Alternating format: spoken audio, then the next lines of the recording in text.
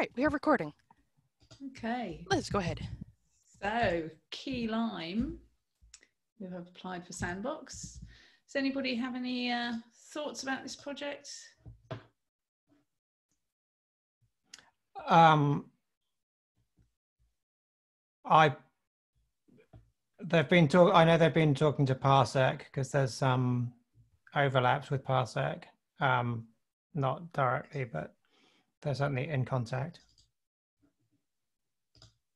Um,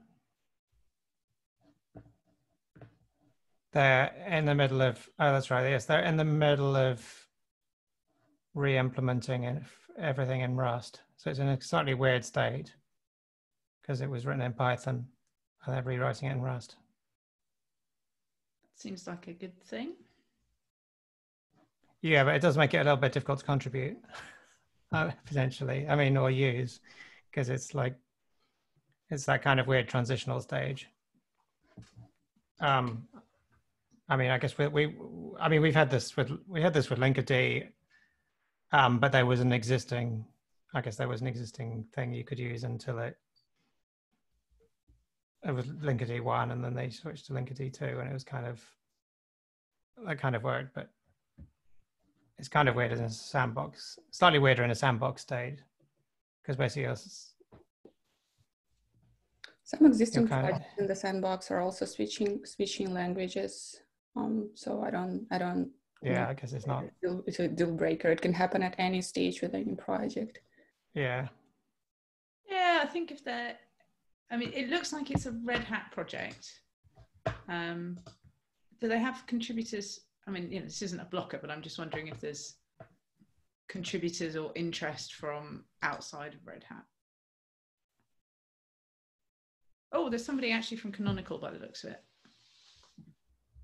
So that's, you know, if they're if they're applying in order to get that kind of neutral ground. I'm not sure that the rewrite is a problem.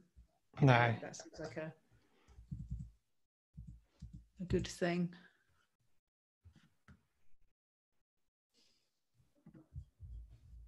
So yeah, they're they're definitely talking to the Parsec people about things they can use in common when they've moved to Rust. Right. Keylime orchestrates trust and parsec parsec abstract security from the for the platform.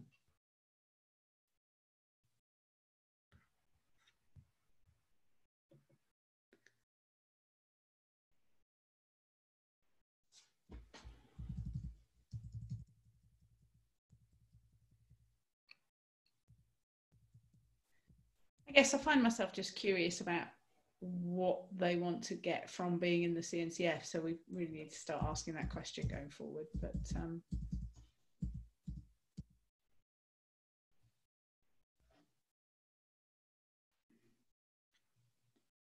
it seems like a cloud native project. Should we? Does anybody want to say anything else, or should we have a vote?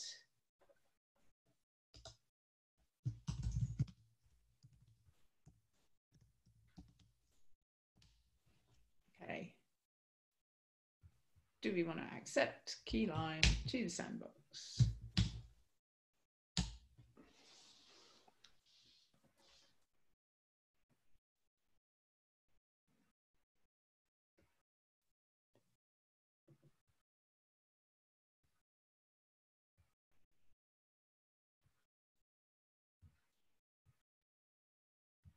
I think that's everyone who's here. So uh, good to go.